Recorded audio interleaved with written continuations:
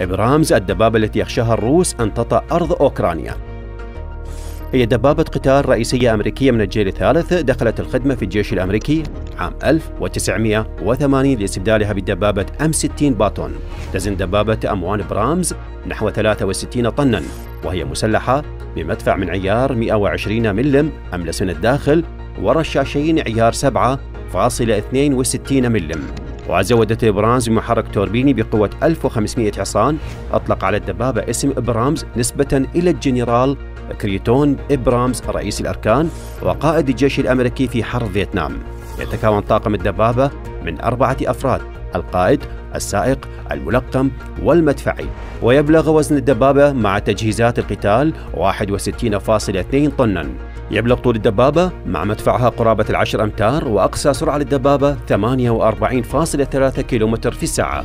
زودت بجهاز وقاية من أسلحة التدمير الشاملة النووية والبيولوجية والكيميائية وأجهزة لكشف الإشعاع الذري والغازات الحربية.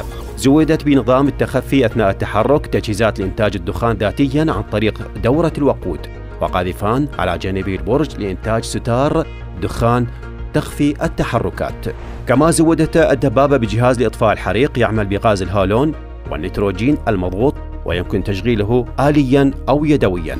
صممت دبابة إبرامز لحرب المدرعات الحديثة ومن المميزات الجديرة لهذه الدبابة هو درعها الثقيل واستخدامها لمحرك توربيني غازي والاعتماد على الدرع المركب المتطور وخزانة ذخيرة منفصلة في غرفة الإطلاق لسلامة الطاقم.